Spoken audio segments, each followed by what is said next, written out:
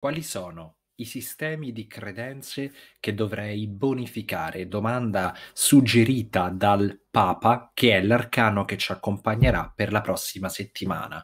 Il Papa introduceva delle particolari nozioni da sfruttare, come l'esigenza di studiare con un insegnante, oppure qualora fossimo noi all'apice di una conoscenza, di essere noi l'insegnante per qualcuno, approfondire il nostro sistema di credenze, perché quando ci sviluppiamo, man mano che andiamo avanti lungo il nostro percorso, non è detto che tutto ciò che ha rappresentato un valore per noi nel passato lo rappresenterà anche nel futuro. Quindi proprio come noi andiamo a pulire, a fare pulizia del nostro mondo in modo oggettivo e tangibile, dovremo farlo anche in modo spirituale del nostro sistema di credenze e quindi del nostro mondo interiore. Tiraggio fatto esclusivamente con gli arcani maggiori, quindi imperatore, temperanza e mondo.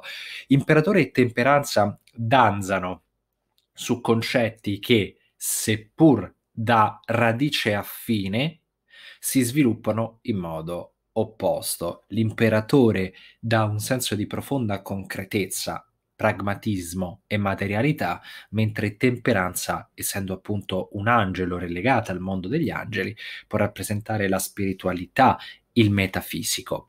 Relegata forse no, perché comunque è un angelo che sta toccando terra, ma sicuramente come esempio del mondo angelico, del mondo spirituale, è un elemento a favore dell'idea di spirito, appunto, metafisico.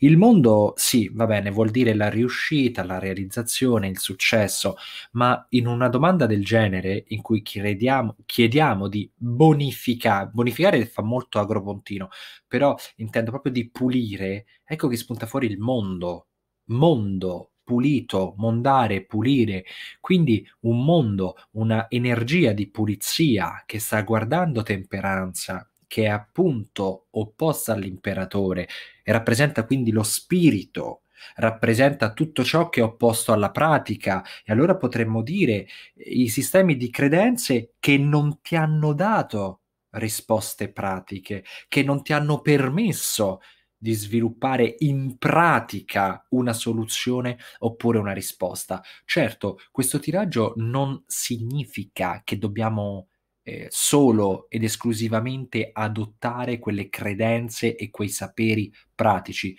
ma quelli che non sono mai serviti a nulla in pratica o per mettere in pratica qualcosa, allora dovrebbero essere assolutamente bonificati, quindi puliti. Questo tiraggio è interessante perché ci fa vedere proprio, mette in luce una problematica del mondo spirituale che ci affligge oggigiorno, una spiritualità punt- portata all'eccesso, ma all'80% delle volte demagogica, nebulosa, che non serve veramente all'uomo, se non sia fargli prendere coscienza di qualcosa nel migliore dei casi, nel peggiore invece ad essere l'ennesima nozione che sappiamo e che però ci raccontiamo. Mi raccomando, approfondisci e personalizza queste nozioni anche se tutto questo ti risuona, facendo un tuo tiraggio con il tuo mazzo di carte ed i tuoi significati. Questo ti permetterà di connetterti con il tarocco, con il tuo mazzo di tarocchi e con la risposta fornita. Ovviamente sul blog tarocchi.blog troverai comunque significati, possibilità di fare tiraggi automatizzati e così via. Buona settimana!